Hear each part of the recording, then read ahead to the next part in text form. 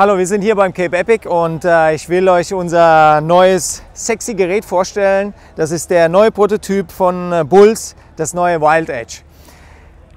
Zuallererst ja eine Wahnsinnslinie. Also es sieht einfach sexy aus.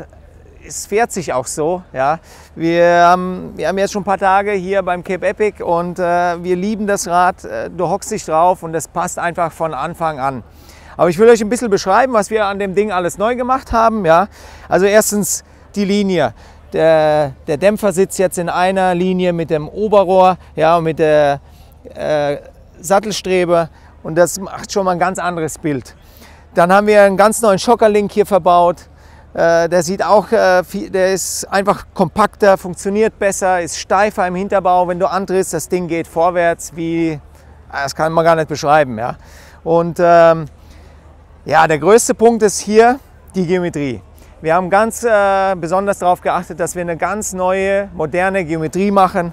Ja, mit einem äh, langen Reach, flacher Lenkwinkel, ganz kurze Kettenstrebe. Also es ist im Prinzip ein ganz anderes Rad wie das alte Rad. Und äh, der Lenkwinkel liegt jetzt so bei knapp 68 Grad für die Kenner und die Kettenstrebe ist ein Zentimeter kürzer geworden. Man sitzt jetzt viel tiefer im Rad drin. Das Ding geht um die Kurven. Es macht richtig Spaß, das Ding reinzuschmeißen. Was haben wir noch neu gemacht?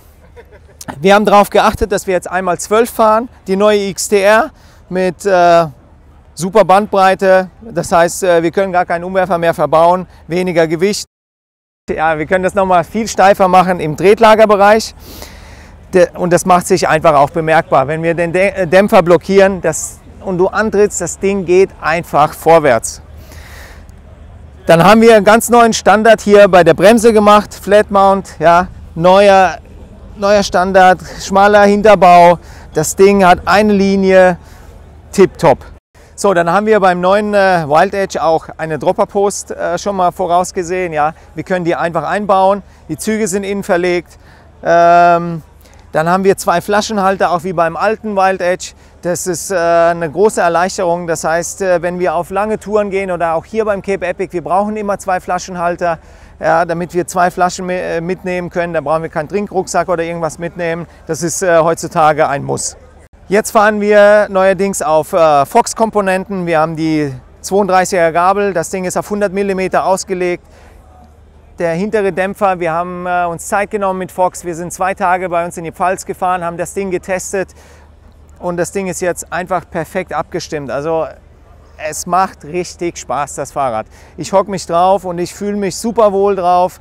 Ich kann im Pfälzerwald überall auch hier einfach Vollgas fahren. Und das, das macht einfach tierisch Freude. Ich hoffe euch auch.